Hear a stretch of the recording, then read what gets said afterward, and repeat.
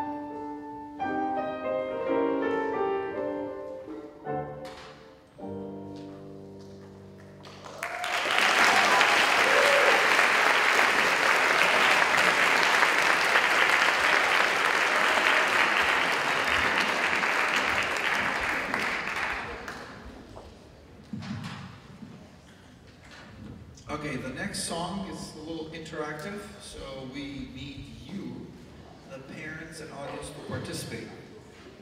It's not very difficult. Um, it involves stomping and clapping.